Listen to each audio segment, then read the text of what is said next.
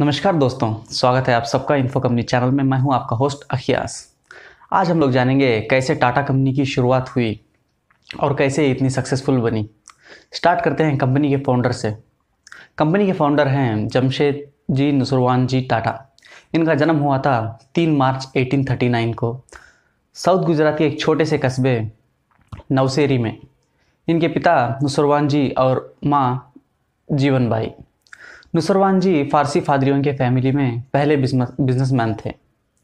इनकी किस्मत इनको मुंबई खींच ले आई, जहाँ इन्होंने पहली बार बिज़नेस में कदम रखा। जमशेद जी चौदह साल की उम्र में ही अपने पिताजी का बिज़नेस में साथ देने लगे थे। जमशेद जी ने एलिफिन स्टोन कॉलेज में एडमिशन लिया, जहाँ अपनी पढ़ाई के दौरान ही हीराबाई दाबू से शादी कर ली।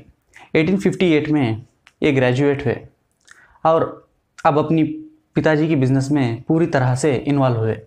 इनके दो बेटे हुए दोराब जी टाटा रतन जी टाटा।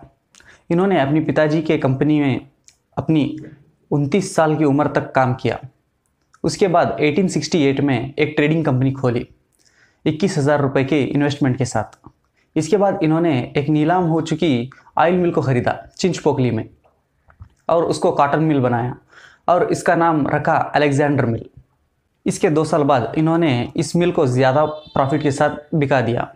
और 1874 में 1874 नागपुर में और एक कॉटन का मिल लगाया और इसका नाम रखा एम्प्रेस मिल। एम्प्रेस नाम इसलिए रखा गया था कि क्वीन विक्टोरिया ने साल 1877 में हिंदुस्तान की महारानी होने का खिताब लिया था। जमशेद जी टाटा की ज़िंदगी के चार मकसद थे। पहला आयरन और स्टील की कंपनी लगाना। दूसरा वर्ल्ड क्लास इंस्टीट्यूट बनाना।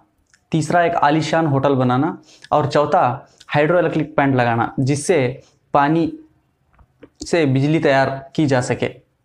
लेकिन अफसोस, जब तक ये ज़िंदा थे, इनका एक ही खौफ पूरा हो पाया। वो था आलीशान होटल बनाने का।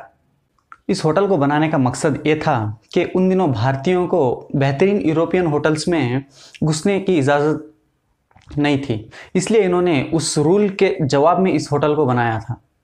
इन्होंने ताजमहल होटल का इनाग्रेशन किया तीन दिसंबर 1903 को। इस होटल को बनाने की लागत थी 11 मिलियन, यानी कि चार करोड़ 21 लाख रुपए। और और इस होटल की एक ख़ास बात ये थी कि पूरी हिंदुस्तान के होटल्स में से सिर्फ़ ये एक ही होटल में बिजली थी। इस होटल का, इस होटल के बनाने के एक साल के बाद, यानी कि 1904 में जर्मनी में जमशेद जी टाटा की मृत्यु हुई। इनकी मृत्यु के तीन साल बाद इन्होंने जो बुनियाद डाली थी, उनके बेटे दोराबजी टाटा ने 26 अगस्त 1907 को Tata iron and steel company की शुरुआत की, जिसका शॉर्ट फॉर्म है टिस्को। ये एक मल्टीनेशनल कंपनी है। 1939 में ब्रिटिश एम्पायर में सबसे बड़ा स्टील प्लांट था टिस्को।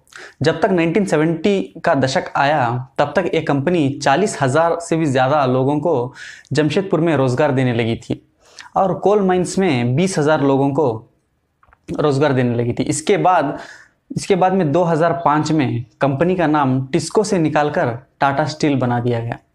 आज ये कंपनी एशिया की सबसे बड़ी स्टील मैन्युफैक्चरिंग कंपनी है और दुनिया में पाँचवें नंबर पे है। आज के टाइम पे टाटा के 29 से भी से भी ज़्यादा पब्लिकली लिस्टेड एंटरप्राइजेस हैं पूरी दुनिया भर में।